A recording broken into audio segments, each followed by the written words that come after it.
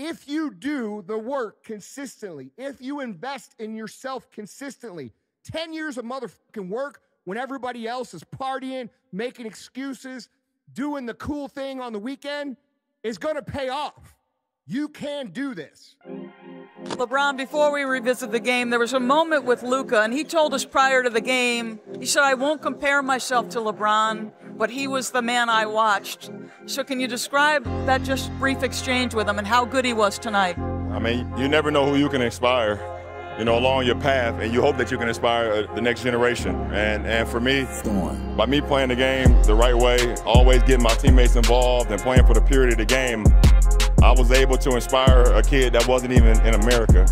And, and, and that's pretty special. And, and, obviously, we see what he's capable of doing. His ability to make plays not only for himself, for his teammates, to rebound and just play for the pure love of the game.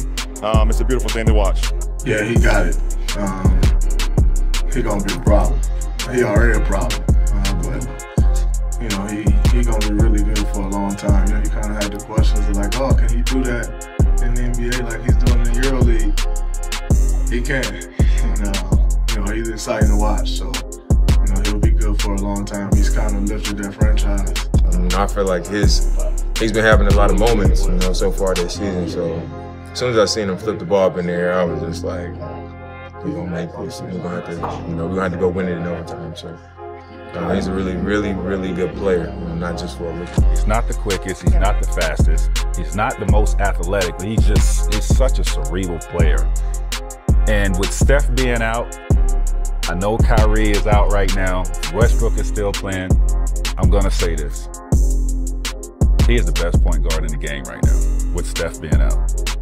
He's an amazing player. He can find his teammates. He can create his own shots. High IQ player. You know, I'm not surprised at all. He's a good player. I mean, you know, he, he's a typical European, which is comes in and, and, has a you know a certain handle and a certain savvy about him. Uh, plays above his age. You know, he doesn't play like a 19 or 20 year old. So um, you can tell he's been playing against some high level competition. He's good. I mean, he's he's got an advantage over most rookies. He's mm -hmm. played professionally a lot sooner than a lot of these guys, and it shows. Um, he has a veteran pro level game. You know, he's he's he's a special talent. He has game. He's stepping into a situation like I'm used to this. I've been playing against grown men since he was probably like 12, 13 years old. And Luka, in my eyes, is one of the top five most talented players in the league right now, and must-watch TV. I mean, I, I any position, top five, not, not, not second-year players. Top five most talented. I'm saying, and most fun to watch.